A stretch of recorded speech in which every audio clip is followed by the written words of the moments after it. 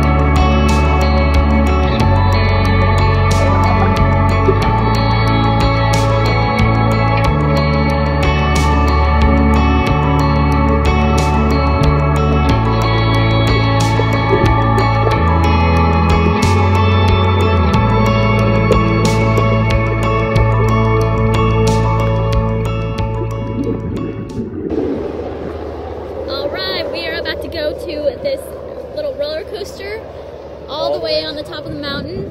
Um, so hopefully that's fun and we get a good shot.